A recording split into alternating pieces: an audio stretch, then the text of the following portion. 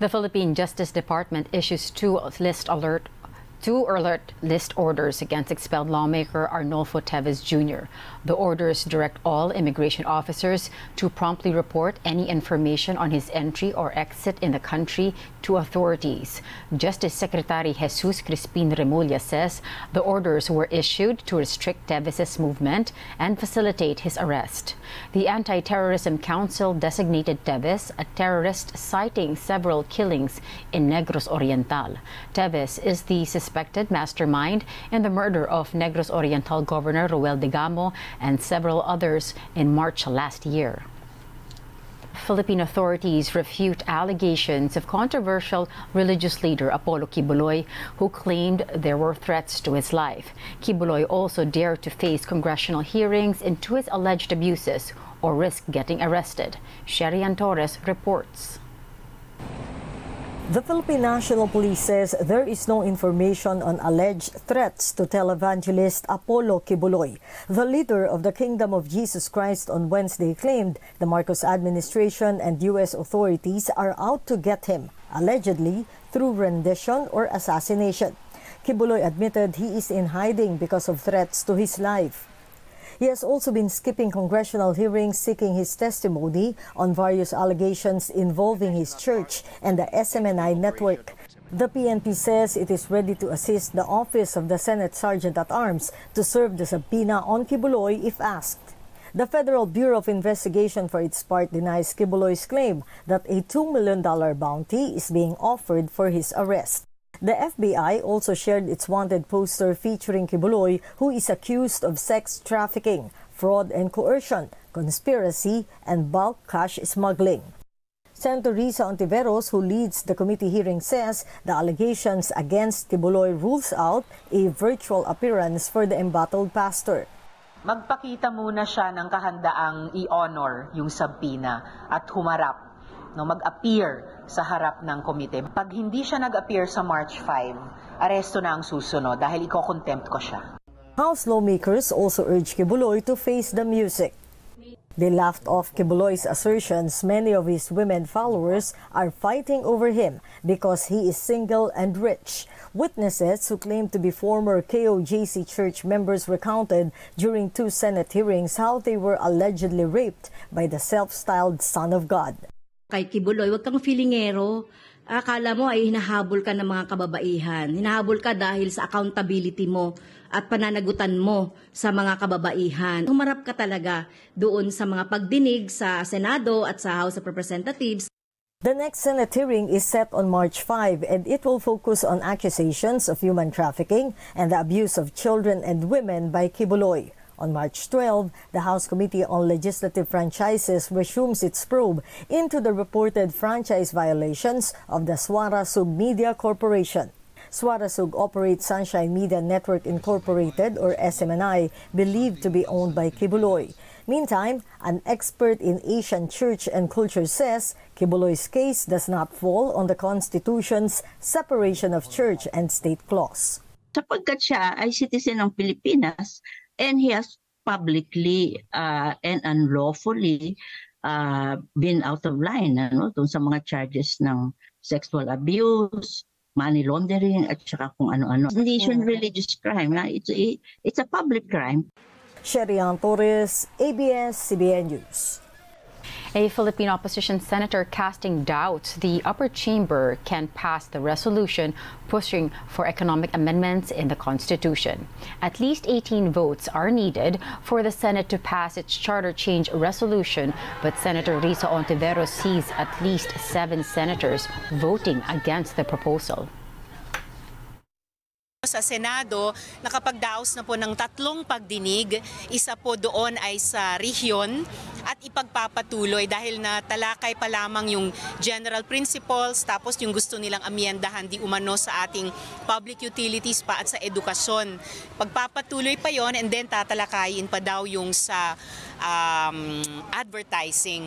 Pero tingin ko yung una nilang sinabing meron na silang 18 votes para aprubahan yan sa Senado. Duda ako na accurate yon at mas accurate sabihin na may fighting chance tayong makabuo ng pito pito namin, kasama si Senate Minority Leader Coco Pimentel, na boboto ng no sa RBH 6. Meanwhile, a House leader rejects calls for the lower chamber to adopt the Senate's charter change resolution, which pushes for separate voting of Congress. I- siguro ang marapat na tanungin natin ang Senado bakit nila nilagay yun. Kasi sa sa where the House stands is we have to follow the Constitution.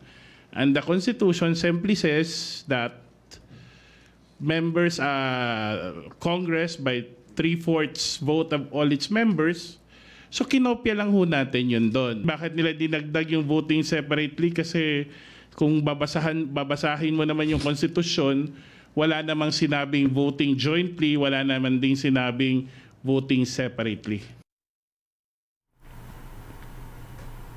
The Philippine opposition bares some of its Senate bets for the country's 2025 midterm polls.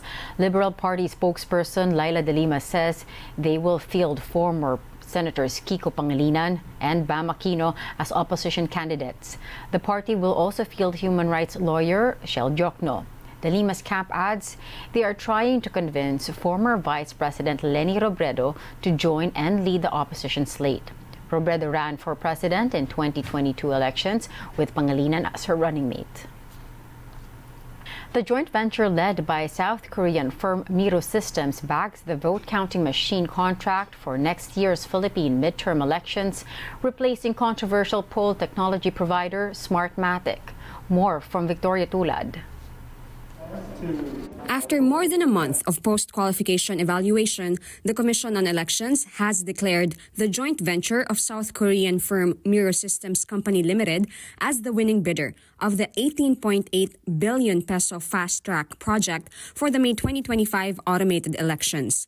Under the fast track, or full automation system with transparency audit count, the joint venture will supply the hardware, which includes 110,000 automated counting machines, laptops, ballot boxes, and ballots, the software or the consolidation and canvassing system, and the election management system. The three Filipino companies that make up the joint venture are Integrated Computer Systems Incorporated, St. Timothy Construction Corporation, and Centerpoint Solutions Technologies Incorporated. They are the lone bidder for the said project. Nagdesisyon ng Commission and Bank, unanimous po kami. Inadapt namin yung recommendation ng aming Special Bids and Awards Committee at yung mga findings ng TWG, amin din pong uh, inadapt at sinasabi na dapat maibigay ang award sa Miru System at ang kanyang uh, joint venture. With the joint venture's bid amounting to 17.9 billion pesos, Comelec will be able to save about 800 million pesos. A huge factor in favoring Miru was its compliance with the wish list of Comelec, such as faster feeding of ballots to the machine from 7 to 9 seconds to 2 to 3 seconds. The machine will also have a 13-inch screen for voters to countercheck if it records the right names and an attached receptacle for the election receipts. During the demonstration of Miru on February 21, the poll chief said it was able to show its capability in transmitting election results to various stakeholders. Nagulat kami talaga sapagkat hindi namin ine-expect na yung lahat ng nirequire namin o nirequest namin sa amin pong wish list sa terms of reference na nilabas namin nung nakaraang taon pa ay eksakto po nakuha nitong Miru. Garcia clarified that they will only be leasing or renting the automated counting machines. Napakahirap po kapag binili natin ang makina sapagkat ang isa pong uh, equipment na katulad niyan, yung modern technology, ay lagi nagbabago po yung teknolohiya natin every 3 months, every 6 months. Pag po binili natin, number one, i-warehouse po natin yan. Napakamahal po ng warehousing. The poll chief assured that the COMELEC investigated allegations of problematic elections conducted by Miru in Iraq and the Democratic Republic of Congo and received certification from these countries. Nagsasabi yung mga mga pinuno po ng election management bodies na ito na naging maayos yung kanilang halalang contrary po doon sa mga nai-report. So kung mismong ang pinuno, katulad ko po, ay nagsasabing maayos yung halala namin, walang naging problema, at hanggang ngayon naman wala tayong nakikita naging problema doon sa bansang yon, so parang medyo mali po siguro yung kumalat na balita. Asked if the May 2025 elections will be smoother with a new elections technology provider, Garcia said it will still depend on other elements such as vote buying and the presence of armed groups that threaten voters and teachers. Garcia pointed out that after the notice of award, COMELEC and the joint venture will still have to undergo a contract negotiation before signing a notice to proceed. Miru will then produce the automated counting machines within six months, which will have to undergo tests and international certification. There will also be a local review of the source code. In a statement, Miru thanked Comelec. The company said it was able to show the efficiency and sophistication of its machines in a transparent and fair bidding. Miru also committed to proving the quality of its machines and looks forward to elevating the Philippines' democratic processes. Victoria Tulad, ABS-CBN News. A new report shows China's activities have caused massive damage to the marine environment in the South China Sea. Researchers from the Center for Strategic and International Studies say Chinese activities have destroyed at least 21,000 acres of coral reefs. This is mainly due to clam harvesting and dredging in landfills to build artificial islands. The report mentioned the damage documented by the Armed Forces of the Philippines in September 2023, which showed crushed corals on the seabed of Iroquois Reef and Sabina Shoal. China has constantly denied allegations of polluting and damaging the marine environment. It even accused the Philippines of causing damage by not removing the BRP Sierra Madre, its lone Navy outpost in Ayungin Shoal. The Philippine Coast Guard denies its Chinese counterparts claims it repelled a vessel of the Fisheries Bureau for supposedly intruding into Scarborough Shoal.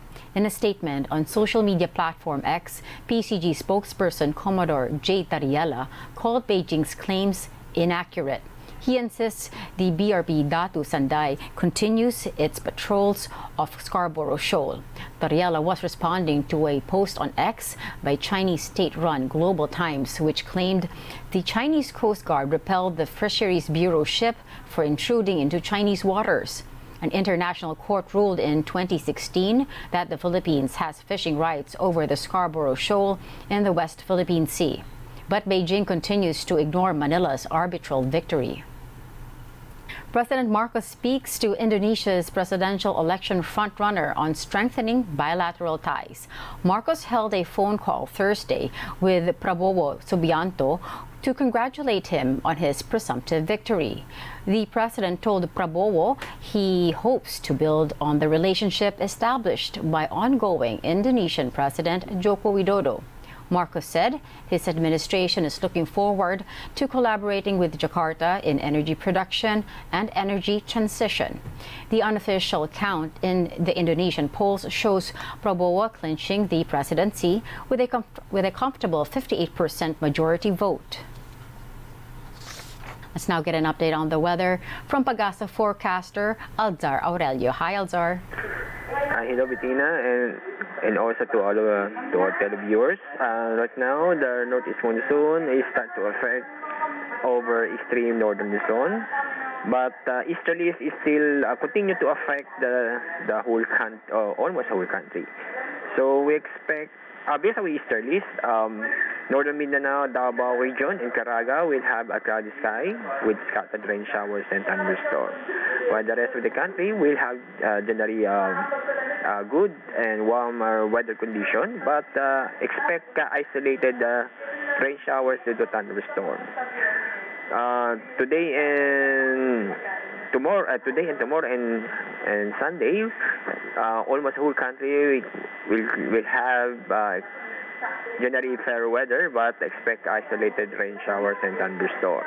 Northeast monsoon expect to strengthen, and tomorrow and and by Sunday, northeast monsoon uh, expect to affect almost the northern and central Luzon. Today we had uh, there's no real warning, so uh, uh, expect um, slight oh moderate to rough seas over extreme northern Luzon, and while uh, the rest of the country expect a slight to moderate seas. That's our weather update from Pagasa. I am Aldczar. Aurelio. Thank you very much for that update, Aldczar.